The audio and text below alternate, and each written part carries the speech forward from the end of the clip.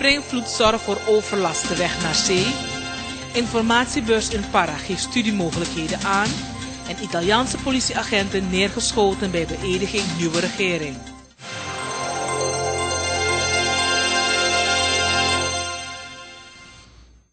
Het probleem van wateroverlast tijdens springvloed de weg naar zee heeft zich de afgelopen drie dagen weer voorgedaan. Een bewoner die al zeker 45 jaar daar woont, zegt dat dit elk jaar weer gebeurt. De mensen lijden schade aan hun huis, inboedel en aanplant. Springtij, springvloed of springie is de periode van het getij waarin het verschil tussen hoog en laag water het grootst is. Het water staat dan niet alleen hoger dan gemiddeld, maar het laagwater is dan ook lager dan normaal.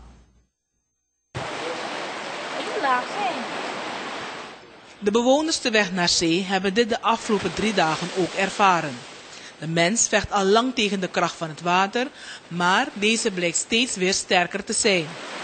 Het zeewater beukt tegen de palen die als dijk fungeren, maar deze kunnen het water niet tegenhouden. Hierdoor stroomt het zoute water de erven op. Ook de landbouwarealen lopen onder water met alle gevolgen van dien.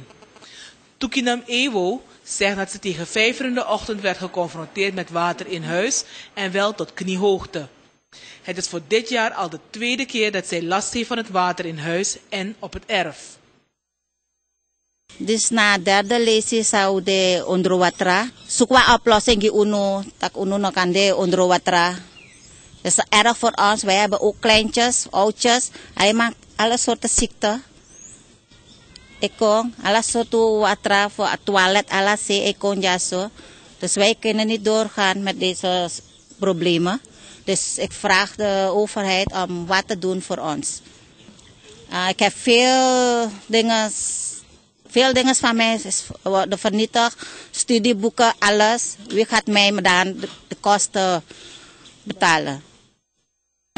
Nou, we denken dat zo een jaren, na 45 jaar. Saya bakra ko, so atek sumuja sumuja. Dan nomang sana ito, res, lu kami abi handicap ja, ha, te pado. Oh, muilak ja, so no. Springvloed gaat meestal gepaard met volle maan of nieuwe maan. Gedurende een tweedaagse jongereninformatiebeurs te Para hebben bezoekers, in het bijzonder jongeren, informatie gekregen over studiemogelijkheden. Er was ook speciale aandacht voor drop-outs. De beurs was gericht op MULO en lagere schoolleerlingen van het district Para. Op de beurs waren onder andere de politie, Stichting Arbeidsmobilisatie en Ontwikkeling, Stichting Productieve Werkeenheden en de universiteit vertegenwoordigd. Voor de start van de beurs werden de jongeren bemoedig, bemoedigend toegesproken. Het is jammerlijk zo dat de voorbereidingen um, naar deze beurs toe heel veel met zich meebracht, maar meer tegenslagen. En door volharding hebben we dit kunnen realiseren. En ik zou daarbij het hele bestuur van jongerenvereniging Para en ook nog de sponsoren die achter ons hebben gestaan en onze ondersteuners um, willen bedanken voor dit geheel. Dat jongeren zelf van Para het initiatief genomen hebben om zo'n beurs te organiseren voor de jongeren van Para vind ik echt geweldig. Ik wil jullie vragen, jongeren, om gebruik ervan te maken. Want jongeren zijn geen arbeiders, zijn geen werknemers.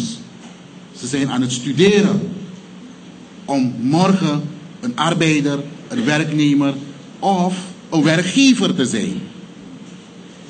En welke markten moeten we voor ze openmaken, moeten we voor ze aanboren om aan bod te komen? Moeten we al onze kader naar Paramaribo sturen, waar er genoegzaam kader aanwezig is, ook vanuit Para? We hebben ze nodig in Para. En we moeten ze de opportunities geven. Als je naar mij kijkt, en misschien de rest, meneer Panka, meneer Polak. We zijn er straks niet meer. Ongranikba. Maar jullie zijn de toekomst van morgen. En het lijkt op een cliché. Maar zolang je je niet bewapent, zoals jullie thema dat zegt, met kennis, ga jij in het leven een achtergestelde positie hebben. De beurs is afgelopen vrijdag en zaterdag gehouden in het multifunctioneel centrum Onverwacht. Sociaal-maatschappelijke hulpverlening is in Suriname niet op het laagste niveau. Toch is er in de samenleving veel onduidelijkheid over het werk van een maatschappelijk werker. Volgens Judith Valport-Vrede, directeur van het Algemeen Bureau voor Sociaal-Maatschappelijke Hulpverlening, ABSMH, zijn de waardering en de erkenning er ook niet. In Suriname hebben we nog geen vereniging. We zijn nu bezig. Ik zit in het initiatiefgroep om zo'n vereniging op te richten voor ons land. En onze vereniging heeft inderdaad natuurlijk ook doelen. Het opkomen voor, voor de belangen van maatschappelijk werkers. Uh, uh, onze plaats binnen de samenleving. De waardering. En dat men ons gaat erkennen om onderzoek te gaan doen in Suriname op maatschappelijk gebied. Met ruim 20 man wil het bureau haar eerste maatschappelijke conferentie bijwonen in Curaçao. Deze internationale conferentie voor sociale hulpverleners voor het Caribisch gebied en Latijns-Amerika wordt voor de elfde keer georganiseerd van 8 tot 12 juli aanstaande. Judith Valport-Vrede vindt het van belang dat Suriname meedoet. Het voordeel hiervan is dat je dus als land of als vereniging kun je um, projecten schrijven en indienen bij die internationale organisaties. En dan kunnen ze die voor je financieren. Thans missen wij die dingen, want we hebben geen vereniging. Één, die conferentie, we horen er nu pas van. Ik heb er vorig jaar van gehoord toen ik op Curaçao was in verband met een project um, schoolmaatschappelijk werk. Toen heb ik daar meneer Keet Kalo ontmoet en die heeft ons verteld en hij zei, hé, hey, je moet iets doen om dit uh, bekendheid te gaan geven in Suriname. Doen jullie wat met maatschappelijk werk? En toen hebben we gesproken, hij heeft me wat ideeën gegeven. En toen ben ik teruggekomen met uh, dit, dat ik dus dit moet organiseren voor Suriname. Het zal absoluut geen snoepreisje zijn, zegt Valport Vrede. De deelnemers krijgen een opdracht mee. Momenteel wordt nagedacht aan fundraisingsactiviteiten om de kosten van de reis te dekken. De Indonesische vrouwenvereniging Dharma Wanita vergaat fondsen voor sociale instellingen met de Charity Bazaar. Jaarlijks wordt dit evenement georganiseerd waarbij culturele activiteiten worden ontplooid. De opbrengsten hiervan worden besteed aan sociale instellingen in Suriname en Indonesië. Indonesische gerechten, producten van batik uit Indonesië, zijn allemaal zaken die verkrijgbaar zijn tijdens de bazaar. De ambassadeur van Indonesië, Noor Sharir Raharjo, en de echtgenote van vicepresident Amirali, Kitty Amirali, waren ook aanwezig bij deze activiteit. Andrachman is lid van de commissie die de bazaar organiseert. En uh, we hebben een fashion show gehad. Kijk, batik is al geïntegreerd in de Surinaamse samenleving. Maar we willen de, het publiek, de Surinaamse gemeenschap, kennis laten maken met andere vormen van kleding. Zoals de songket en de tenon. Dat is geweven materiaal uit de diverse provincies van Indonesië. Als u nagaat dat Indonesië bestaat uit ruim 17.000 uh, eilanden met 36 provincies en elke provincie heeft zijn eigen motief, zijn eigen identiteit. Het is vrij druk. Ten verkoop zijn aangeboden um, Indonesische producten en natuurlijk mag niet ontbreken culinair ook Surinaamse, ja, wat wij hier kennen als de bami, de nasi, de soto, worden ook aangeboden. Maar meer wordt de focus gericht op uh, Indonesische lekkernijen, Indonesische gerechten en Indonesische snacks. Dragman meldt verder dat er zal worden nagegaan welke sociale instellingen dit jaar voor de fondsen in aanmerking zullen komen. Het Suriname Business Forum blijft de kleine en beginnende ondernemers in Mungo, belanghebbenden uit andere districten bijscholen. Vooral de hygiëne is het belangrijkste waarop deze ondernemers zich moeten focussen, merkt Cornelie Oliveira op, de managing director van Women Business Group. Ongeveer 30 mini-ondernemers uit Marowijnen, Para en andere districten waren gisteren aanwezig op de workshop van het Suriname Business Forum. Ze kregen informatie over het produceren van cassave en podosiri. Deze workshop werd in samenwerking met de Braziliaanse ambassade gehouden in het kader van het ontwikkelen van duurzame groei, met name in de agrarische sector. Isa na desa sa uler jatide. Uleli fu meke podosi, uleli fu pani kasaba en ook toe dat we Afrikaan den piki fu abaka. Dus deze aanvisai moet doen, je moet de netjes, je pees, je moet king, dus alles moet de normaal. e ke fai sa wan sa mapesi mokin ya яму dua tipe si, des aso. Uh, eh, minaf bena darope amiko arki sarema abif takia Uh, eh, foral abra eh, uh, kasafa tilt. Dus miko arki miko lukusot informasi mika fenja aso. Um, ehm, el, en principe elek me dikatak dama botak abra de kasafa fabrika en fasfa de sanat bogo. Ma samiko yela jaso na morofur mane cross be abe abra de producte sa ikamek na ksaba nanga uktu podosiri ama be lerek mishi sa fabrashon e dure de tori. En sa ukan du jatu ef eh, lek faremata ki ubondru kawang uroko sama ukan du morofur. Mi me kon sama nanga menergalimo futak aba ufor aksabatori hmm, wande orto sa mi kisviere de. Ala dende bungimi manomi teka mi teka sansareta taki. Mi, mi bigi fasen poti si mi ede fu kauro kwangengo moro fara. Ok. Uh, maar je praat Saba? Ja, mijn praat Saba wel. Cornelie Oliveira vond het belangrijk om dit seminar voor deze groep te houden tijdens de agrobeurs. Dit omdat ze niet alleen informatie krijgen, maar ook kunnen zien hoe ze hun landbouwgewassen kunnen onderhouden en hun producten kunnen verwerken. Het is eigenlijk een voortzetting. We zijn al jaren bezig in Mungo. We hebben in Mungo als microkredietenorganisatie hebben we redelijk wat klanten. En uh, microkredieten betekent niet alleen geld geven, maar ook de mensen de mogelijkheden wijzen om hun bedrijf uh, zeg maar, uh, succesvoller en winstgevender te maken. Waarom nu?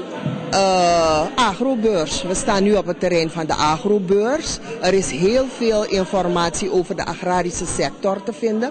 En samen met Suriname Business Forum, waar ik ook deel van uitmaak als uh, organisatie, hadden we gedacht om deze micro-agrarische micro, uh, ondernemers de mogelijkheid te geven om informatie tot zich te, tot zich te brengen.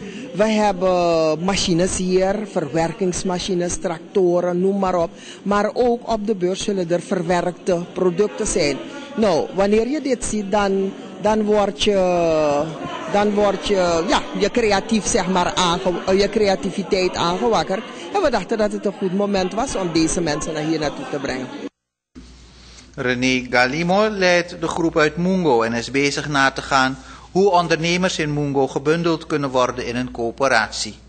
Via een coöperatie kunnen de leden makkelijk aan financiële middelen komen voor uitbreiding van hun zaak. A coöperatie in feite, we begin zo'n 20, maar je look Mungo wat betreft Mungo, de meeste we elibi voor landbouw. Dus men kan geven aan het om maar voor begin futakele famus de au de wan bigi meer dan 100 smasre voor afukoni want de meeste smali van tak den vrouw na na prani de prani. Dat soort stap u de no voor contact a coöperatie? Wel wanga des ma toch mo poja so na de san saushi dos to horwan vergadering na groep san kona foto. Dat we jere ook toe voor alla se sana den praxeri zodat u kan te kwam amoro de de bosloy if you look ten aanzien voor a, a, a situatie na a productie ten aanzien voor Xaba da ongeveer binnen one two jaar zo dan musu um um bigi sikbata ki duidelijk vooruit de ifu Pakistan na juiste fasi binnen one two jaar zo dan musi taki vooruit kon ba ina vooral in nang aksaba.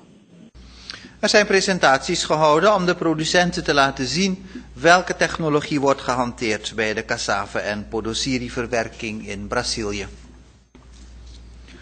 Goede huwelijken kunnen goede kinderen voortbrengen. Dit zegt Remy Mohamed Said, voorzitter van stichting Marriage Encounter Suriname. Zij organiseert weekenden voor echtparen met als doel handvaten aan te bieden om zo de moeilijkheden binnen de relatie het hoofd te bieden.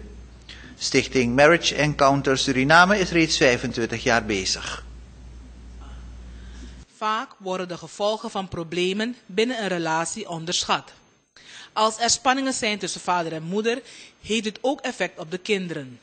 Dit is te merken aan het gedrag en de schoolresultaten van deze jonge gezinsleden.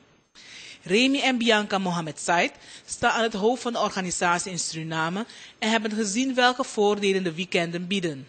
We weten dat het een flinke uitdaging is voor gehuwden om uh, dezelfde, hetzelfde enthousiasme dat ze hadden in het begin van hun relatie tijdens de verkeringsperiode, tijdens de witte broodsweken, om datzelfde enthousiasme levendig te houden door de jaren heen.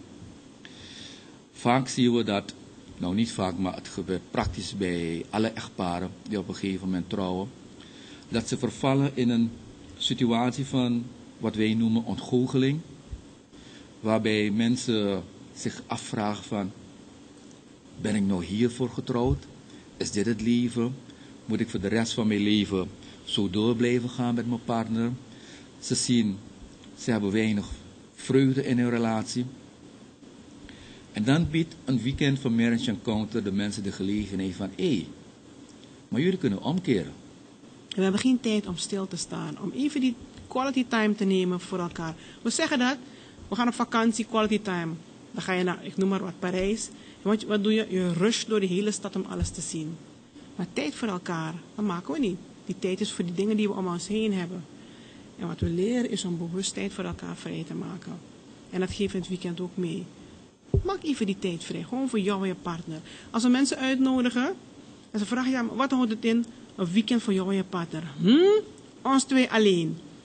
Alsof mensen bang zijn om Zeg, maak tijd voor je partner vrij. Omdat we gewend zijn aan die telefoon, aan iPad, aan dit en dat. En het is goed, die technologie. Maar het maakt ons, we raken addicted aan die dingen waardoor we elkaar uit het oog verliezen. Niet alleen christenen participeren, maar ook echtparen die het hindoe of moslimgeloof aanhangen en atheïsten doen ook mee. Het doel van de weekenden is om enthousiasme binnen het huwelijk terug te brengen.